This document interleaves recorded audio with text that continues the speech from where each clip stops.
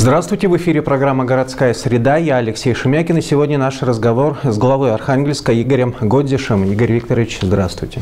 Добрый день, Алексей.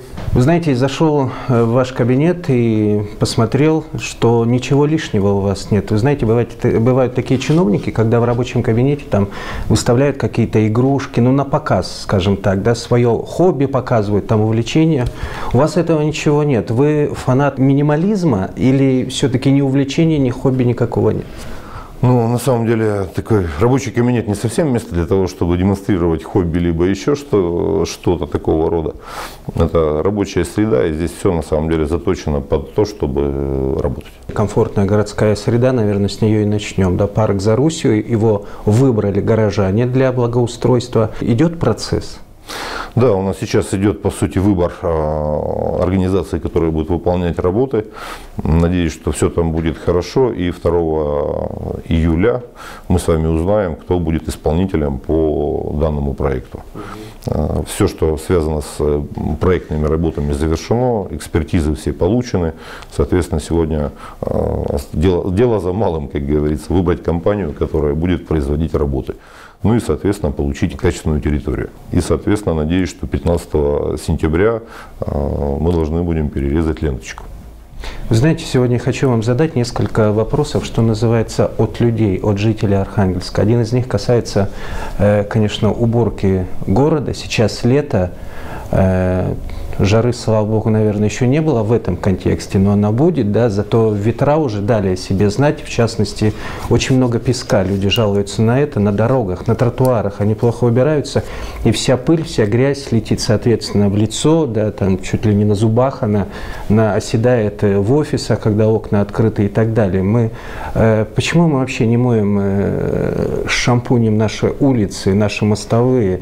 У нас не хватает на это денег э, или руки руки не доходят пока до этого? Ну, на самом деле технический регламент сегодня не а, подразумевает под собой обязательную историю по а, шампуню, да, применению шампуня как такового на городских улицах. А вот э, вода, смачивание и мойка обычной водой, это предусмотрено э, городским контрактом, но, к сожалению, конечно, не для всех дорог города. Вот, мы с вами знаем, что у нас часть дорог, на самом деле, там еще до мойки далеко-далеко. Вот, э, надо отметить, что вообще в этом году песка на дорогах стало меньше. Вот. Нас много критиковали за ту новую технологию, которая была применена по зиме, с большим и более активным использованием соли вместо песка и солевого раствора. Но это дало очень неплохие результаты с точки зрения наличия песка на дорогах первой и второй категории. И значительно в меньшем объеме мы видели эти пылевые бури, которые каждую весну мучили, особенно как только там чуть-чуть подсохнет. Вот, а, поэтому думаю, что сочетание новых видов а, зимнего содержания и обслуживания города и вот приобретение, последнее приобретение полицейского дорожного управления вот, тех самых пылесосов, которые горожане сегодня видят в городе в качестве прицепов. Я думаю, что доведется и старое, то, что уже там, извините, приросло к дороге, да, зачастую там на обочинах, это все будет подчищено, и город уже будет в меньшей мере сталкиваться вот с вот этой грязью. А когда мы вообще от этого отойдем? Еще один вариант есть, который, так сказать, все понимают, но еще пока руки до него не доходят. У нас, к сожалению, нет газонов нормальных, оформленных, но зачастую нет бордюрного камня в городе, и поэтому вынос э, земли на проезжую часть, он в любом случае происходит. То есть это отдельное. Ну и вопрос, конечно, парковок. Когда люди паркуются на зеленой зоне, зная, что это вызовет, возможно, массу вопросов, где парковаться и так далее. Но с другой стороны, вы знаете, э, в центре крупных мегаполисов везде одна и та же проблема. Да, вот, все хотят туда приехать на машине и поставить машину вот рядом с офисом. Да, и вопрос стройте, стройте, стройте парковки. Вот. Э, нет, к сожалению, такого резинового пространства. Если строить многоуровневые парковки, готовы ли горожане сегодня платить за эту историю? То есть это не будет бесплатно в любом случае. Бизнес будет вкладываться и будет, соответственно, продавать право аренды на эту территорию. У того, у кого есть машина, я думаю, что они будут не против. Да, безусловно, у кого есть машина. Поэтому... Другой вопрос, где строить эти многоуровневые парковки. Может, я живу на Варавино, а она появится где-нибудь в районе третьего лесозавода. Неудобно же. Вопрос перехватывающих парковок возможен, да, но это мы сейчас плавно перейдем вопрос э, пассажирского транспорта, Конечно. который сегодня э, функционирует в городе. Это все на самом деле взаимосвязано. Я думаю, что многие бы, возможно, и отказались от э, поездок на личном транспорте в тот же центр, да, будь нормальные комфортабельные автобусы, идущие по графику, и, соответственно, человек четко понимает, что в нормальных человеческих условиях дойдет до работы. Поэтому тоже перевязанная история, и поэтому и движемся по пути замены угу. существующего пассажирского парка автобусов на более комфортабельный. 26 рублей, на ваш взгляд, немного? Вы знаете, очень долго на самом деле ситуация была замороженной. Было с 18 до 21 рубля под определенные обязательства, которые, кстати, к сожалению, не были на самом деле обязательствами, а скорее намерениями, которые декларировались. Вот, э, сегодня, как и, собственно говоря, было озвучено, вначале новые автобусы, потом повышение.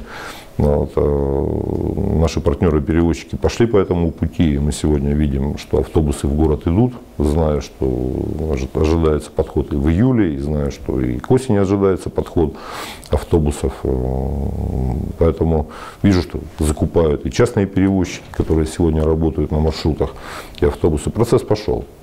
Соответственно, чтобы он опять где-то не остановился, как когда-то было, вот, э, я думаю, что имеет смысл поддержать э, вот то начинание, которое у перевозчиков сегодня уже реализовано в виде новых автобусов. Игорь Викторович, еще один вопрос, ну, чисто бытовой, но что называется от людей и э, из народа.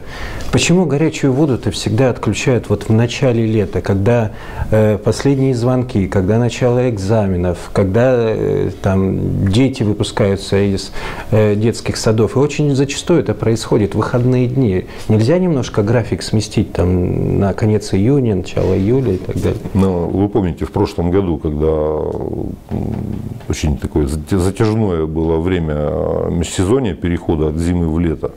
Вот, э, система теплоснабжения работала достаточно долго.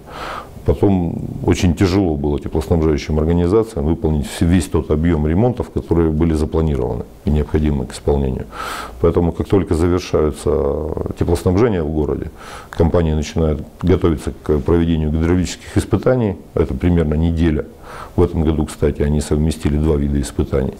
Ну вот. Э, а дальше мы уже переходим э, сразу в режим устранения аварий, появившихся в результате гидравлики, и плановые работы э, по, по всей территории города, график которых был опубликован. Устранение аварии – это еще как минимум две недели для некоторых домов. По крайней мере, в этом году так было. И того месяц люди без горячей воды. Ну, к сожалению, Почти. тот же, например, поселок Талаги, да, где очень длинная идет ветка теплоснабжения. Там порядка трех аварий только на магистрали, магистраль 500. Соответственно, это требует э, и времени, и условия это прокладки в свое время этой магистрали были, видели, где она там проходит, да, где-то и заболочена и так далее территория. Поэтому требуется время на устранение. Но э, в любом случае северный город есть северный город. То есть нам важно, понимая все неудобства, и сам их терплю точно так же, да, проживая в многоквартирном доме, нам важно подготовить город к зиме. Один из главных проектов этого лета – это реконструкция участка, э, одного из участков Ленинградского проспекта. Как сейчас продвигаются работы и что подрядчик обещает в этом году уже сделать? Ну, коллеги работают в графике, и это радует. Э, я думаю, что мы Э, к октябрю месяцу получим уже э, завершенный весь процесс, связанный со строительством. Скорее всего, у нас останется на 2019 год процесс благоустройства. Ну, просто уже, наверное, нереально будет что-либо там садить в это время. Вот. И весна 2019 года – это объем посадок. Газонная часть, высадка деревьев. Ну, может, кстати, деревья и получится посадить. Тут еще посмотрим, да, потому что их все-таки можно будет садить где-то чуть попозже. Трава-то точно не пройдет. По этому же принципу делался проезд сибиряковцев. И сейчас коллеги будут э, заниматься посадками в том районе. Ну, вот. Мы им уже э, соответствующие напоминания направили. Часто подбадриваете подрядчика? Ну, не то чтобы подбодрить, да, мы же работаем как партнеры, мы просто напоминаем, точно так же, как и вопросы, связанные с гарантийным содержанием и обслуживанием. Вот. Зачастую там нет необходимости выпускать какие-то жесткие документы, надо просто коллегам напомнить о том, что есть ваши гарантийные обязательства, есть соответствующие проблемы, которые возникли. Ну, вот, и там дело до суда не доходит, люди спокойно выходят и устраняют. Кстати, многие компании сегодня делают это самостоятельно. Этим летом много дорог приведем в порядок в городе? Ведь и дополнительные какие-то деньги появляются, которые направляются на ремонт в том числе. И если учесть, что нам с вами более 90% дорог надо приводить в нормативное состояние, да, то там, десяток улиц, которых мы сделаем в этом году, это там, капля в море. Незаметно на самом деле. Ну, мы сконцентрировали больше объем работ в центре, потому что готовимся уже к форуму 2019 года. Здесь это будет более заметно, на окраинах будет менее заметно. Угу. Там где-то подровняем, где-то сделаем, потому что уже есть такие улицы, как Маслово или Почтовый тракт, где местами просто невозможно практически ехать. И таксисты уже не ездят даже. Да, то есть вот такие моменты. Несмотря на то, что много проблем с дорогами, в этом году все равно порядка 14 миллионов выделили на ремонт внутриквартальных проездов. Потому что там зачастую тоже машине уже ехать просто невозможно. В таком состоянии это все находится. Ну вот. Объемы будут сделаны приличные, но вот для того, чтобы реально ситуация в городе начала меняться, нам надо только в ремонты вкладывать, ну, ну минимум хотя бы это полмиллиарда рублей в год. Не в содержание, а именно вот в ремонты. Но это ведь нереально. Но к этому надо стремиться. То, что мы сейчас не имеем средств э, в таком объеме, не значит, что мы не должны их искать. А есть где искать? Ну, мы сегодня э, с вами уже, по сути, находимся в стадии исполнения 204 указа президента. Он, по сути, весь посвящен комфортной городской среде. Там больше акцент сделан на региональные дороги, но я думаю, что делая региональные дороги, невозможно забыть о муниципальных. То есть хочешь, не хочешь, а находить деньги придется? Конечно, конечно. И это, кстати, осознают все. Ну, вот не только городская власть осознает и региональная власть, и федеральная власть указ президента не минует и будет его исполнять. Поэтому мы думаем, что нас не бросят один на один с историей 90% дорог, не соответствующих стандартам. Вы уже затронули э, подготовку к форуму, к очередному, который пройдет в 2019 году. Дороги, понятно, сделаем, да, по крайней мере, в центре, где будут наши гости. Еще одна сторона этого вопроса – это, конечно же, те деревянные строения, за которых, наверное, перед гостями нам будет стыдно. Э, решается как-то, будем сносить, будем людей переселять, в том числе из ветхого жилья, да, и тоже ведь многомиллионные затраты. Ну, на самом деле здесь пока рано говорить о затратах. Они, безусловно, будут. А, пока хочу поблагодарить партнеров, которые пошли на то, чтобы демонтировать эти дома без всяких денег.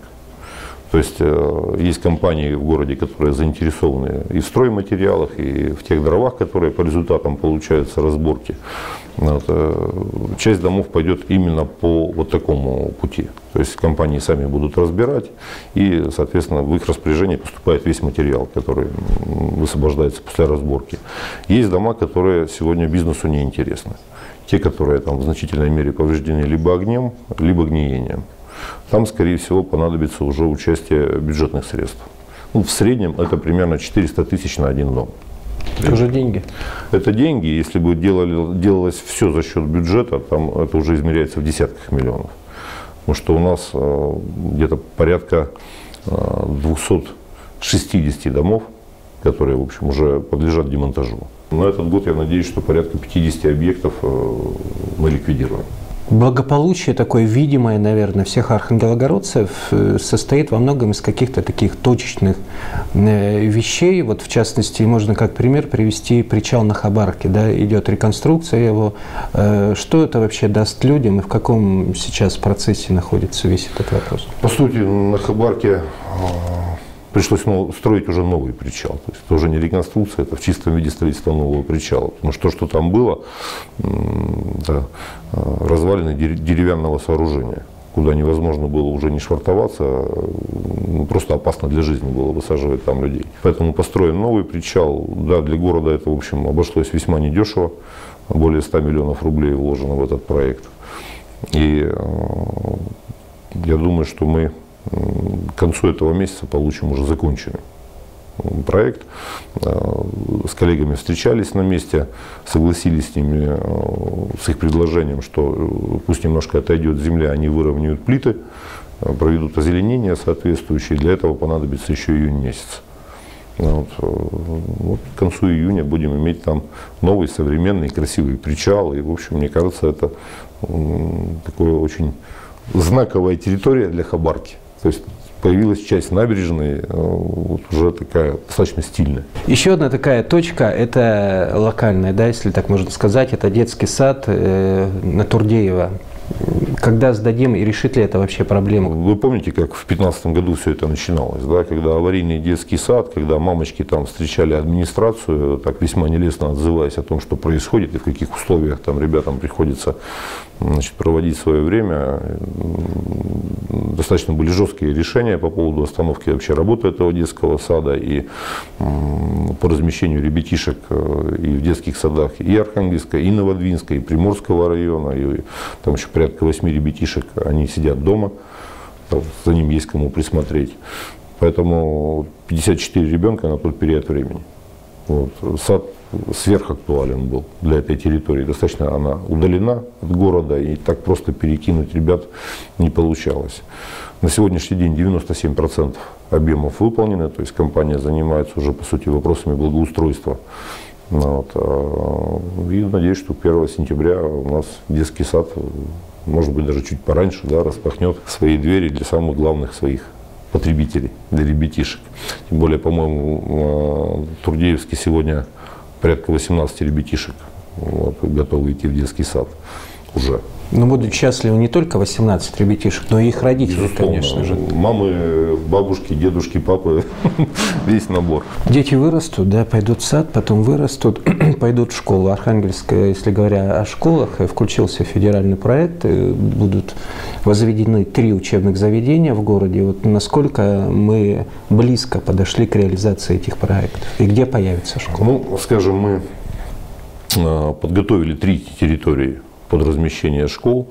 Одна 860 мест – это Баравина фактория. Идет привязка и сроки завершения в сентябре этого года. То есть мы получим проектную документацию, проработанную, привязанную к территории и, по сути, готовую для размещения на конкурс под производство строительно-монтажных работ. Вторая территория и значительно более серьезная по мощности школа. Шестой микрорайон, школа на 1600 мест, проект тоже повторного применения. Привязка идет сейчас и завершается, по-моему, в середине июля. То есть там уже будет полностью готовый привязанный проект, пройдет соответствующие экспертизы, можно строить. Третий проект, он в центре Э, сейчас пока идут расчеты, потому что земельный участок – это, э, значит, горожане знают, территория между областным судом и налоговой. На, на проспекте Ломоносова достаточно большой земельный участок, там более 5000 квадратных метров. Э, вот мы бы хотели там разместить школу. Пока по численности получается объект примерно на 500 человек. Ну, на самом деле у нас еще есть проект по реанимации 41-й школы. Вот, она в Соломболе стоит, стоит уже несколько лет, требуется капитальный ремонт, и мы там с партнерами из Красной Кузницы, со Звездочки ведем тоже диалог о неком таком совместном проекте, чтобы вернуть ее тоже в строй. Эту а возможно, ведь говорили, что там вообще практически все нужно менять, начиная со стены и заканчивая фундаментом и так далее. Я не нашел Недорого будет. К сожалению. Вот говорили, да, а нет ни одного экспертного заключения, которое бы сказал, что это возможно, невозможно.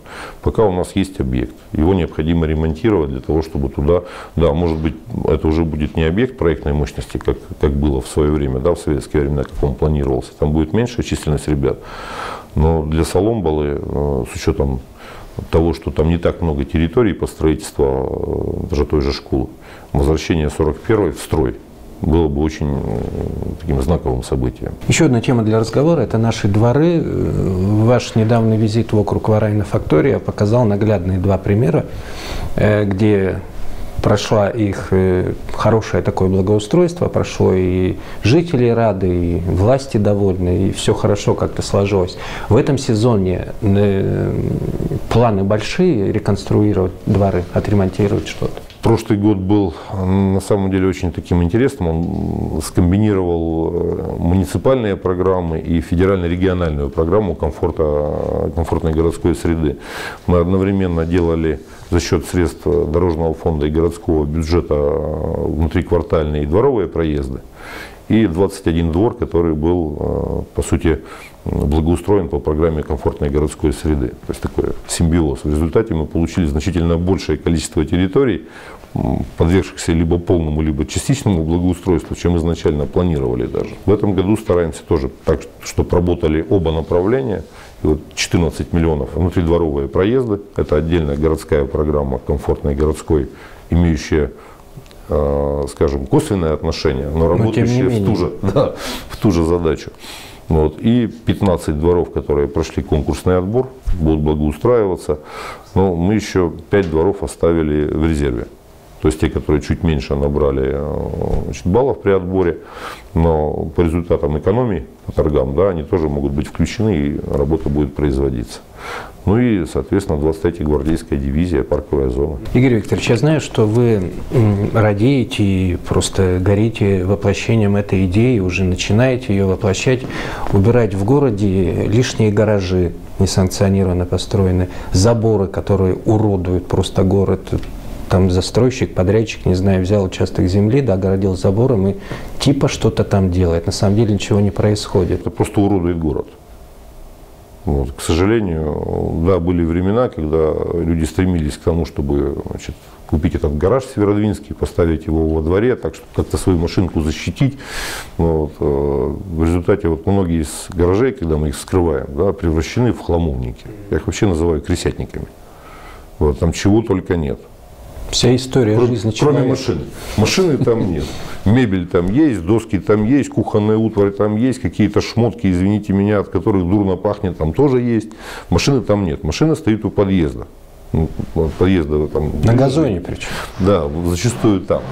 Ну, чем топать до гаража. Поэтому то, что мы сейчас э, убираем, во-первых, освобождаются очень большие территории, где реально можно э, сделать общественную зону, зону для всех.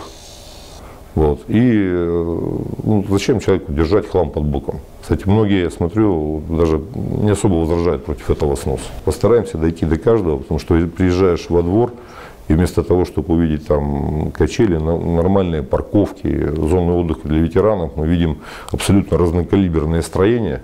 Некоторых и гаражом-то не назовешь да, некое сооружение, обитое жестью, кое-как окрашенное, ржавое со всех сторон и поросшее еще и кустами и травой, то есть не используется напрочь.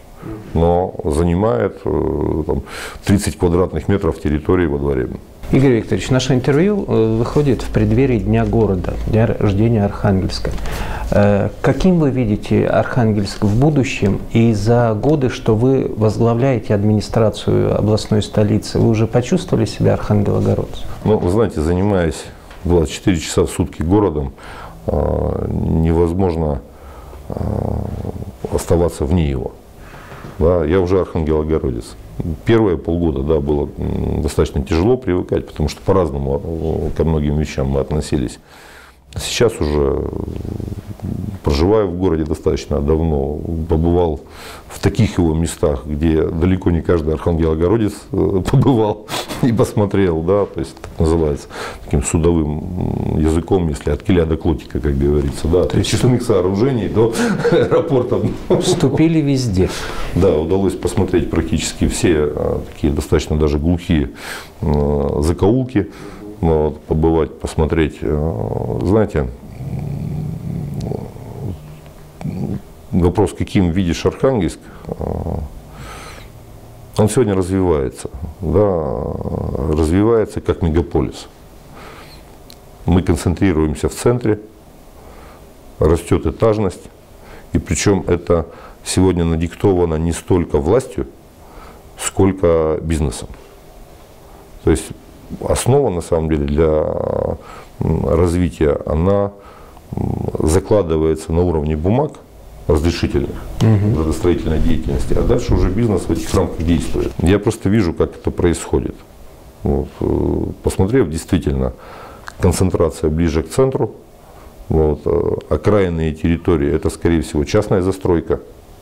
и она будет идти. И мы сегодня, по крайней мере, пытаемся вот э, те участки, которые будут освобождаться от сноса домов, возвращать в оборот, но только уже под индивидуальное жилищное строительство. Будь то многодетные или с аукциона это будет продаваться. Это будет достаточно тоже интересная история. То есть принцип современного города. Центр – это работа, это бизнес, а окраина – это территория для проживания. Такая малоэтажный вариант Архангельска. И сегодня это так и происходит, если посмотреть, что такое наши пригороды. Будь то дачные или коттеджные истории. Вот, э, я думаю, что именно таким будет Архангельск будущего. Игорь Викторович, ну и что бы вы сегодня пожелали всем архангелогородцам в преддверии нашего общего праздника? Безусловно, хотелось бы пожелать, чтобы э, все у людей складывалось, сбывались мечты. Вот, и э, всем хотелось бы пожелать более активного участия в городских проектах. Вот, неважно даже в какой сфере, в сфере благоустройства, искусства, вот, высказывайте свое мнение – говорите, что думаете. Вот. И на самом деле вопрос, каким вы видите Архангельск, он актуален для каждого горожанина сегодня. И, наверное, да, пришло время каждому бы высказаться на эту тему, каким видит Архангельск, еще и в преддверии того, что мы находимся э, перед выбором. 9 сентября мы будем выбирать э, городских депутатов. А это люди, которые будут непосредственно участвовать в формировании этого будущего они будут утверждать и принимать бюджет. Вот, и бюджет как документ, диктующий развитие города, по сути, на три года, он определяет все. Поэтому хочу призвать еще, используя эту площадку, горожан более активно, активно участвовать в муниципальных выборах, потому что именно на уровне муниципалитета на самом деле решаются все проблемы горожан. Даже не на уровне региона или федерации, на уровне муниципалитета. Игорь Викторович, я благодарю вас за интервью. И знаете, что подметил? Когда вы говорите о будущем Архангельска, когда вы говорите о его развитии, мне кажется, у вас есть главное, у вас глаз горит при этом. Поэтому я желаю вам удачи, э, притворения в жизнь всех проектов. Ну, еще раз спасибо. Спасибо вам.